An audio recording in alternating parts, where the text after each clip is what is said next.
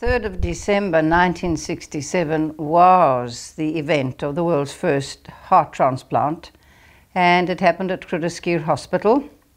I wasn't there, I was uh, not old enough to be part of it then, but I did join the heart transplant team in 1975. And I did work with Professor Chris Barnard in, in the team, and I did do quite a few heart transplants. And so I guess they thought, as half the participants had already died, they might as well get hold of some of those that are still alive. And that's how I got invited.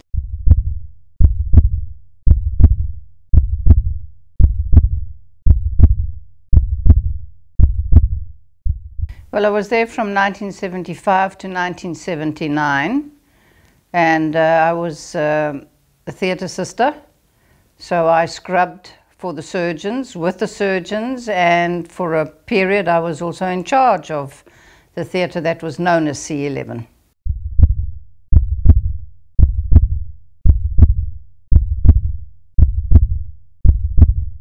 I was about 24 when I started there. I had just completed the operating theatre training at Groote and I was invited to join the team. And I was scrubbing for surgical procedures right from then. You work there for a period during your surgical training and I guess someone sees you and thinks that you might fit in. And that's how I guess I got in.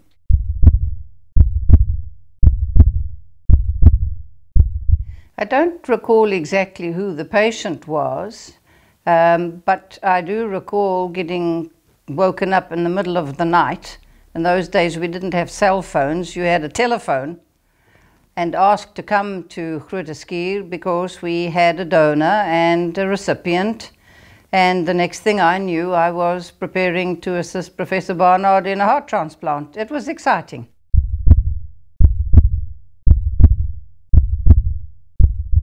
Well, of course, there'd have been a recipient waiting. So that's already stressful for the family and everyone else. You're literally waiting for someone to die so that you can get their heart. And that's what happens. Someone does die, they are declared brain dead. The uh, family is approached, and it's a very tough time for the family. It's a very difficult decision to make, but also a very beautiful gift that anyone can give and once that has happened, that uh, the, the donor's family has agreed to donating the heart and today many other uh, organs, it's go, go, go. You, everything's uh, put in place, it's already prepared, and uh, the patient, the recipient, is told, so they would be quite stressed.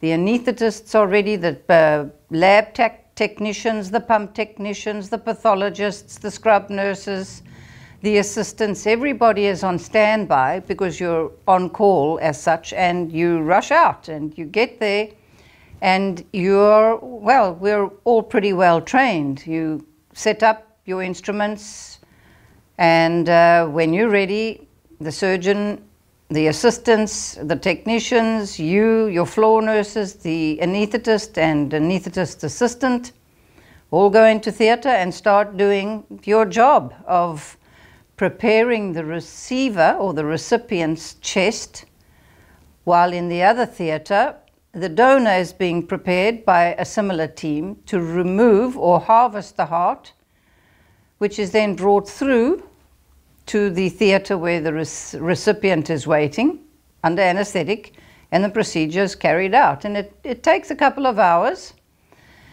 and it's a very tense time and uh, the most incredible memory I have of that is on a few occasions the heart starts beating spontaneously.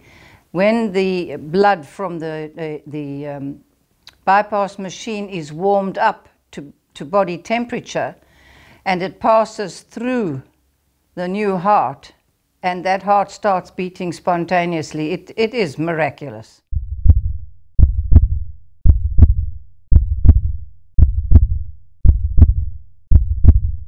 Always sad if you lost a patient, and we didn't only do heart transplants, we did cardiothoracic surgery.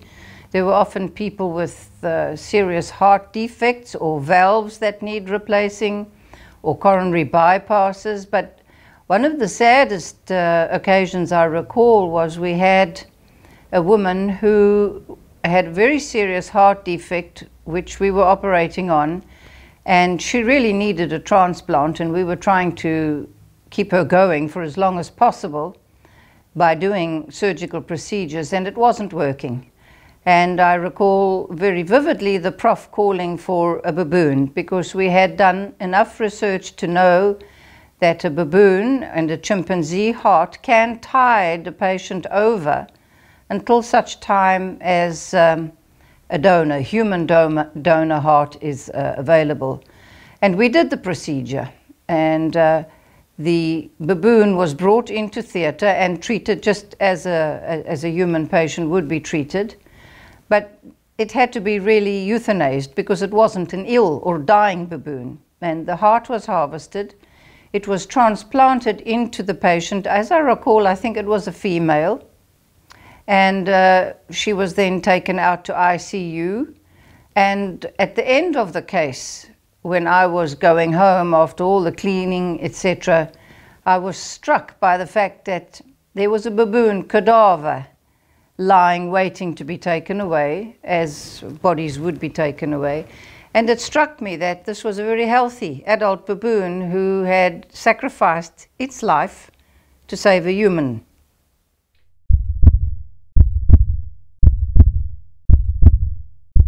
At the time, it was really cutting edge surgery. We're talking about the 70s. We did certainly not have the kind of uh, techniques, the kind of equipment that is available today for, for transplant surgery. And so it was really, it was, a, it was almost a necessity. The important thing to realize that uh, although animal research is a very emotive topic, animals are part of the whole of the web of life. And it's through their sacrifices that we have been able to develop the kind of things we have developed. Because today, if they harvest a heart from a donor, they can actually keep that heart perfused and alive and take it to the recipient because those people are incredibly ill. You can't fly them to where the donor is. And it doesn't make sense to fly a body that is brain dead.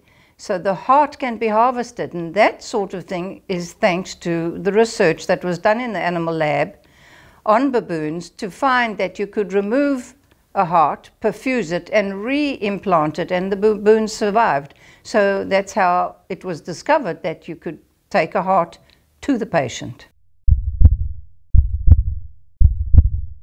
We did have one surgeon who was um, known for his singing voice. And uh, while he was singing, you knew things were pretty okay. It got really tense during the middle part of the surgery. When he started singing again, you knew that the tension was easing off and we were coming to, towards the end of things. So, yes, we did have a lot of fun. Professor Chris Barnard was very charismatic. He could be very charming. And um, he wasn't well known for knowing people's names or remembering their names or the names of instruments. And uh, Sister Pitty Rodenbach, who was my senior and in charge at that time, warned me that I had to watch very carefully what he was doing and give him what he needed and not what he asked for. Because he would often ask for the type of instrument that you wouldn't even have in a cardiac theatre because his head was going so quickly. So if he asked for a particular instrument and you knew he couldn't possibly use it there, you gave him what he needed, not what he asked for. And often there were newer people who, to their folly, gave him what he asked for, not what he needed. And um, that could uh, create a little bit of um, tension, to put it mildly.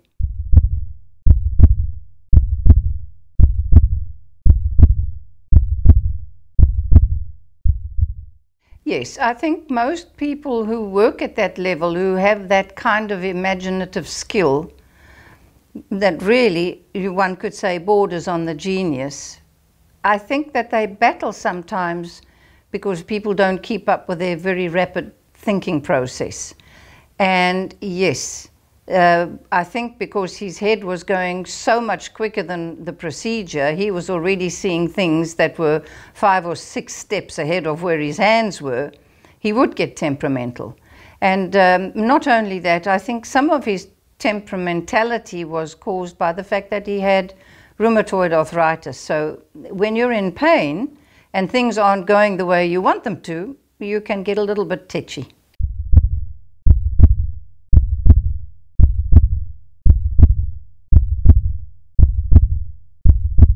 There was a case that his brother Marius was um, uh, involved in, and Marius was a great surgeon as well, but I don't think he had quite the imagination that his brother Chris did.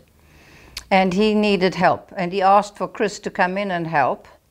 And because I was Chris's theatre sister, I had to join in as well. And I recall him standing with his eyes closed and thinking. He was imagining what to do. And uh, it was a, a, a, young child who had uh, an atrial defect, so there was not much atrial muscle, as I recall.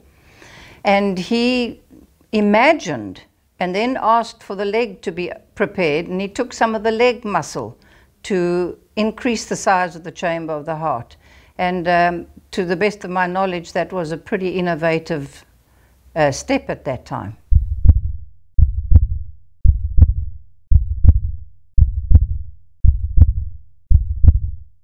Well, if I go back to those times and, and just to digress, we do have it naturally, but we unlearn it. If I go back to the times at the heart transplant team, um, we did cardiothoracic surgery, not only transplants, and very often those people were extremely ill. And every now and then, everything would go wrong. And it didn't matter what you tried, everything just seemed to be going against us. However, the patient would still recover and even thank everybody for the wonderful work. And I recall on more than one occasion Professor Barnard saying, Well, there's someone else going home in spite of us. And that made me wonder what goes on that gets the body to recover, even though it would appear everybody's trying to do something to the contrary. And I realized then that he was using intuition on a different level very often. And I guess that started my journey about what is it that the imagination can conjure up that in the moment doesn't appear apparent.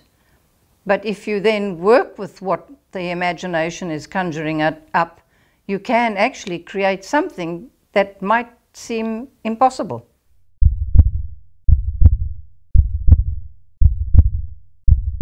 I think generally people are becoming so overwhelmed by technology. Technology is wonderful. If I just think back on the transplant days too, the type of equipment we used then required you to be imaginative because we didn't have the equipment that does everything for you now. We had to be imaginative. Whether you were a doctor or an anesthetist or a nurse, you had to really tap into that part of you that took you to the next limit. We seem to have lost that. Technology is giving us a lot of advantages, but it's also taking away from us. So the people who come and learn how to use their creative mind are people from every walk of life, including doctors, psychologists, business people, sports people, scholars, stu university students, even moms. Everyone wants really to be able to use their whole mind. And I think that the price of technology is that we have almost unknowingly given up our ability to just use that imaginative mind.